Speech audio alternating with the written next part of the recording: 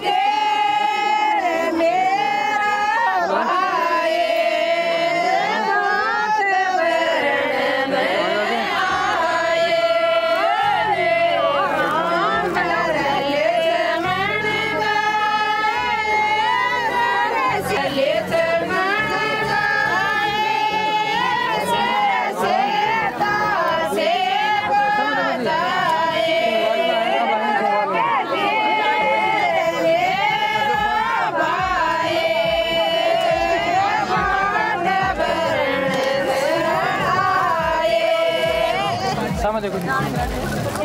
ठीक है।